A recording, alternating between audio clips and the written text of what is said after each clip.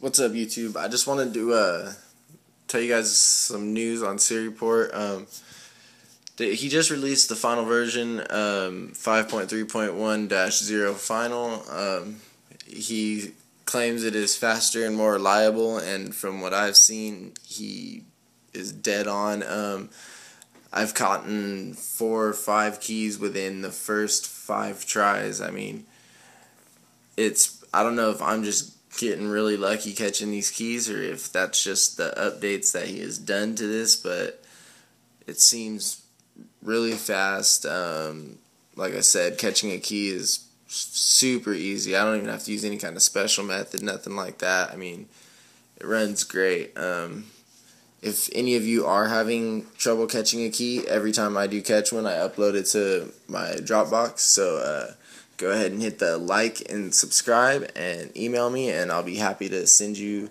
the assistant plist file that you need to get Siri going. Um, I've sent it to several people, and it worked great for all of them. Um, so yeah, I hope you guys like the video. Um, rate, comment, subscribe, all that good stuff, and I'll catch you guys in the next one.